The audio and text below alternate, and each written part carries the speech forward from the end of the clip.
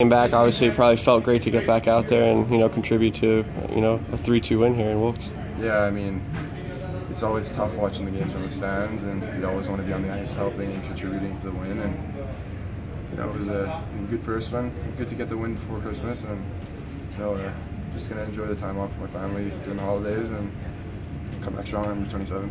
Yes, I was talking to Scott Gordon there. He says probably your most consistent game of the season from, from start to finish. Uh, I know no one wants to watch it, like you said, watch from the stands. You sort of see yourself learning some stuff of when you were up there, though.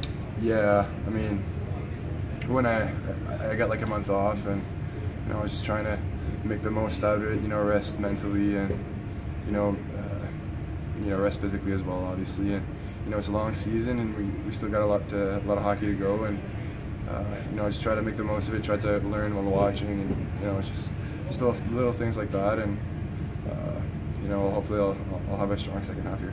All right, works for me. Thanks.